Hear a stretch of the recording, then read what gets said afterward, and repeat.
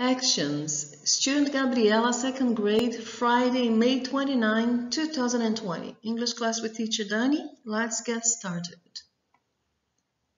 War is free time activity. Going to the cinema is free time activity. Relaxing is free time activity. The bed is a daily routine activity. Sweeping the floor is a daily routine activity.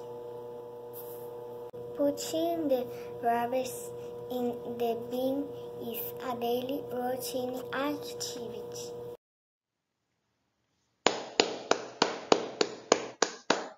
Well done, Gabi. Great job. Whose turn is it?